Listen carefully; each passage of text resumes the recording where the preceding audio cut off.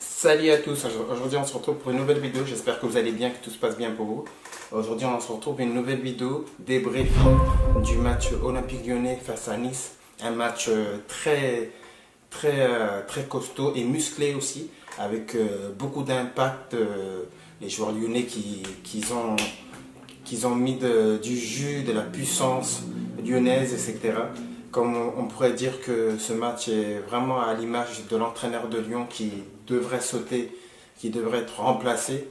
Et euh, donc, euh, alors en ce moment, l'Olympique lyonnais ne doit pas avoir beaucoup d'erreurs, c'est-à-dire gagner beaucoup de matchs pour que Peter Boff euh, puisse rester à l'Olympique lyonnais un peu plus longtemps que possible, puisque là, Lyon est menacé de changement de- d'entraîneur, puisque les résultats ne suivent pas et le classement ne suit pas vraiment, même si nous allons regarder le classement ensemble, regardez.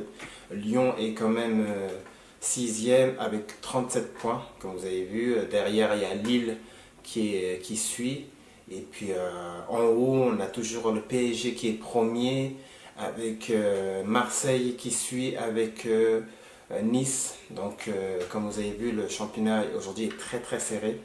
Mais je pense que Lyon a une chance de finir dans les quatrième, troisième si, je dis bien s'il y a des erreurs face, à cette équipe de Nice qui peut faire des matchs nuls ou des défaites. Lyon pourrait peut-être terminer troisième, mais ça serait, c'est pas, c'est pas, c'est pas fait. Sera pas du gâteau. Ça serait vraiment dans les dernières euh, journées du championnat de France. Donc euh, voilà, aujourd'hui je suis content de cette euh, journée car c'est une journée exceptionnelle avec euh, un Lyon qui a réussi à tenir quand même tout un match jusqu'à la fin. Et ça c'est vraiment euh, c'est pas tout le temps comme ça. Et quand je vois que Lyon arrive à tenir jusqu'à la fin une victoire euh, ça ça peut que faire du bien au moral tant que lyonnais et au classement aussi. Donc voilà, aujourd'hui c'est un match avec des Lyonnais très motivés car leur entraîneur essaie de faire tout pour que les joueurs soient motivés pour gagner les matchs, puisque là en ce moment c'est très difficile entre le- l'entraîneur qui risque de sauter si euh, Lyon fait beaucoup de défaites.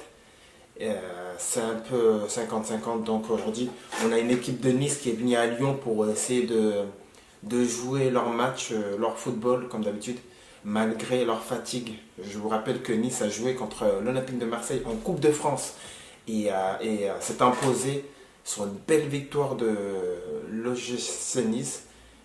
4 buts, je pense que c'était 4 buts à 0 ou 4 buts à 1, je ne me rappelle plus, il faut que je regarde. On va regarder ensemble. Regardez. Voilà, voilà le score qui, qui tombe là.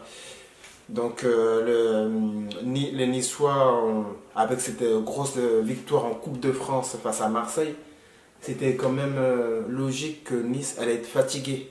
Donc euh, voilà, l'Olympique lyonnais a profité de, la fatigue euh, niçoise pour éventuellement remonter au classement, mais c'était pas gagné puisque les Niçois peuvent à tout moment déranger Lyon. Mais là, j'ai beaucoup senti de la fatigue de la part des Niçois par rapport à ce match contre l'Olympique de Marseille en Coupe de France.